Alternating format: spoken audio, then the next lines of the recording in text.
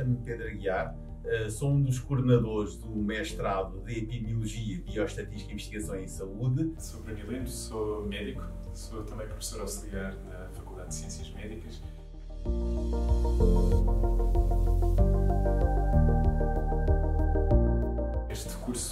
Tem dois grandes objetivos. Primeiro, visa dotar profissionais de saúde de competências de investigação que lhes permitam desenvolver uh, as atividades que fazem nas suas unidades de saúde. Uh, e, por outro, permite dotar pessoas que vêm fora da saúde e que se querem aproximar a este campo para compreender melhor quais é são as problemáticas que nós queremos abordar neste momento uh, em investigação em saúde. Um mestrado muito interessante porque vai abordar vários temas da investigação epidemiológica. Eu tenho tido o privilégio, neste mestrado, de trabalhar com, com alunos muito criativos e que estão interessados em resolver problemas concretos é, da, da, sua atividade profissional.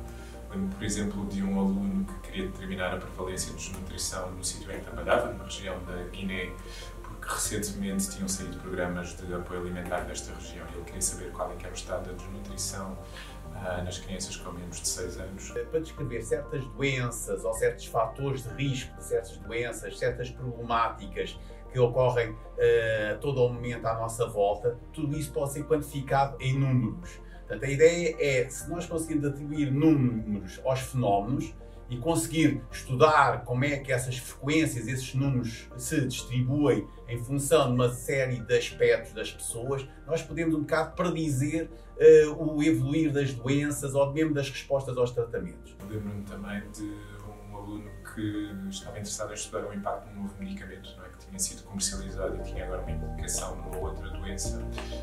Estávamos todos muito preocupados qual é era o impacto deste novo medicamento em termos de função renal, porque isso ia ditar uh, aquilo que nós íamos fazer na prática clínica e com as competências que está a desenvolver neste mestrado está a conseguir fazer essa avaliação.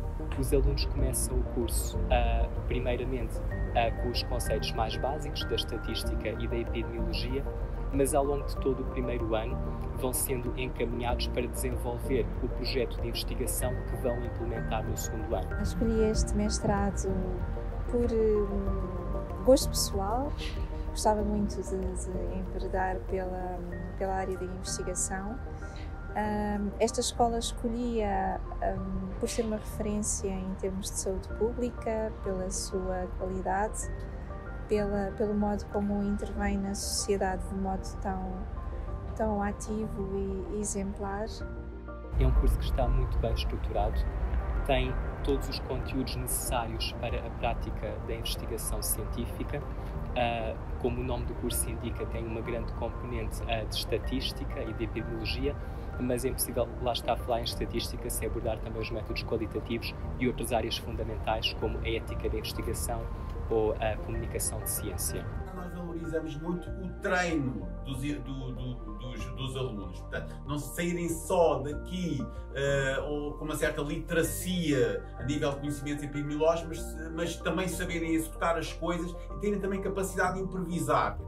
A Escola Nacional de Saúde Pública tem um corpo docente muito competente, que são professores com um grande perfil de competências e que estão muito preocupados em conseguir alcançar os alunos, em garantir que os alunos, mesmo aqueles que se calhar não estão tão familiarizados com a matéria, conseguem perceber o conteúdo das aulas. Aquilo que eu diria àqueles que pensam em vir para a escola e para o curso uh, do EPIBIS, um, que venham, que de facto vão sentir-se acolhidos, vão, vão ter uma equipa uh, bastante dotada para esclarecer todas as dúvidas e, e capacitar de todo o conhecimento que será necessário para aplicar uh, na vida prática, não só nos termos profissionais, mas uh, contexto laboral de cada um, mas também para quem pretende enverdar por um caminho de, de investigação na área da saúde ou com ela relacionado.